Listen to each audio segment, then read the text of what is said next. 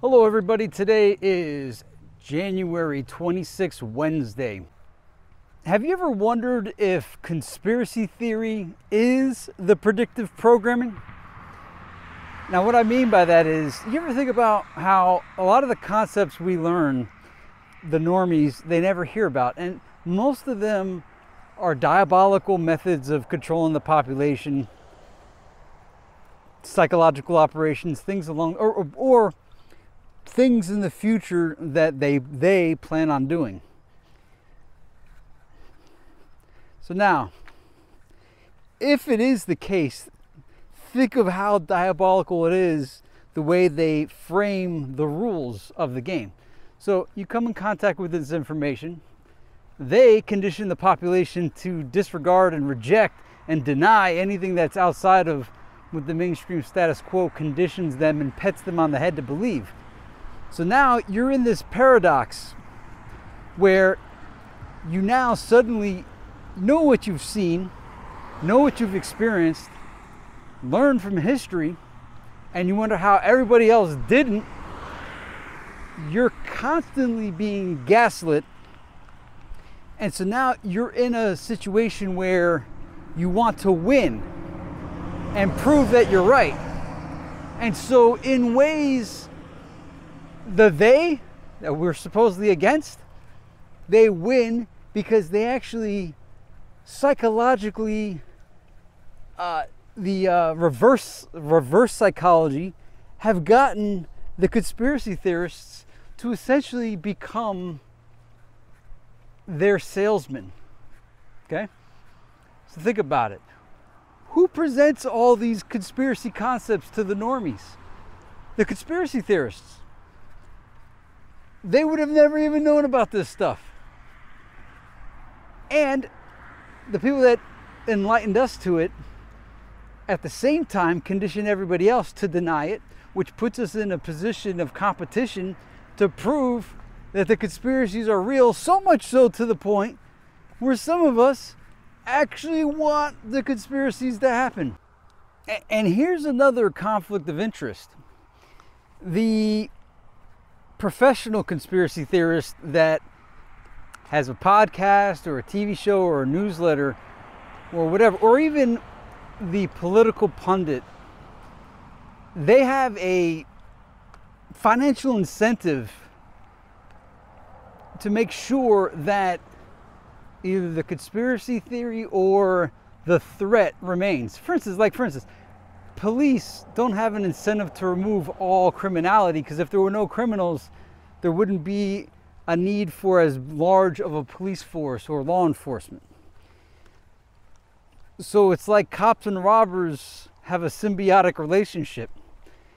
And the political pundit, well, for instance, think of CNN, right? Now that the guy that they spent four years doing 24 7 coverage of isn't there in the public eye for them to do. They've lost significant viewership. Now you could say, well, it's because they're fake news, and who wants to watch fake news? But they, the person that they were against, was actually the greatest thing that happened to their business model. And if we resolved all the conspiracy theories, theories, the people that are conditioned that their whole life was to do the, to be the conspiracy complainer or the paranoid conspiracy, it's almost as if they need perpetual conspiracies to occur. And then that brings me now to the scoring system of conspiracy theory. Now, the status quo normies, established people, they have everything in their favor. They have like the largest point spread ever because they own all the media outlets. And then if you find if you so they have like a rule system of oh it's got to be an authoritative source. Well they're authoritative sources because they own all of the authoritative sources. They own the book publishing companies the tv stations the radio stations everything. So everything is stacked in their favor to begin with. And then if you actually if somehow a person like a professional that decides, you know, it's not worth it. Truth matters more. something that they can't anticipate because they think they bought everybody off. Or an article actually makes its way through. Or information that's counter to their narrative. What they'll then do is provide their apologetics to counter whatever came out and, and, and then discredit, downplay whoever it is that, that went against it. And then they'll say that, did you look at our side or are you only using your own confirmation bias? And it's like, well, no, actually, I mean, yeah, okay, sure, I'm doing a little confirmation bias because I'm trying to win, but you provided apologetics. Yeah, I was getting ran on out there.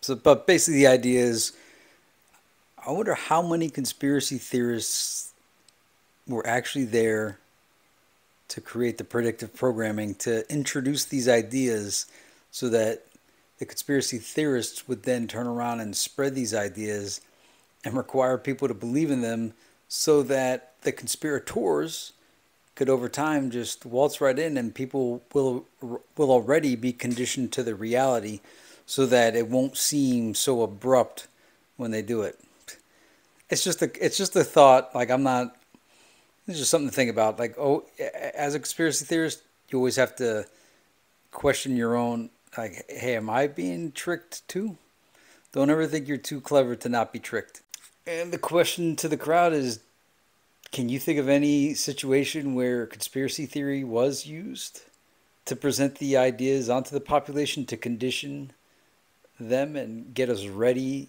to experience the New World Order? I mean, after all, who talked about the New World Order more than the conspiracy theorists? You know, for instance, some of the conspiracy prophecies that came out years ago, and then when they actually happen, everyone goes back and says, wow, so and so said this. They knew, they knew way back then that this was going to happen. Or maybe they were employed to make sure it happened.